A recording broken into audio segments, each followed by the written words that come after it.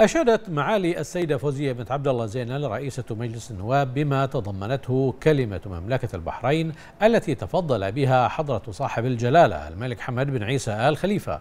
عاهل البلاد المفدى حفظه الله ورعاه.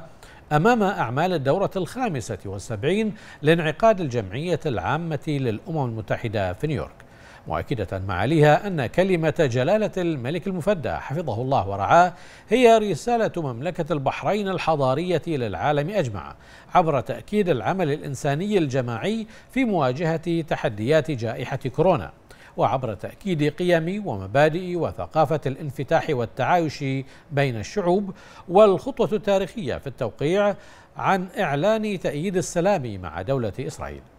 وعبر تجديد تأكيد موقف مملكة البحرين الثابت والراسخ في دعم القضية الفلسطينية وإنهاء الصراع الفلسطيني الإسرائيلي وفقا لحل الدولتين استنادا إلى قرارات الشرعية الدولية ومبادرة السلام العربية. مشيرة معاليها إلى أن الرؤية السديدة والدعوة الحكيمة من جلالة الملك المفدى حفظه الله ورعاه هي رؤية ثاقبة تستوجب توحيد الجهود والتعاون والتكامل من أجل خير وصالح الجميع في المنطقة. وأضافت معاليها أن المجلس النيابي تؤكد دعمها التام لكل ما تضمنته كلمة جلالة الملك المفدى في تكريس التعاون الدولي والمحافظة على السلام العالمي وحماية حقوق الإنسان وتحقيق أعلى مستويات التنمية للجميع.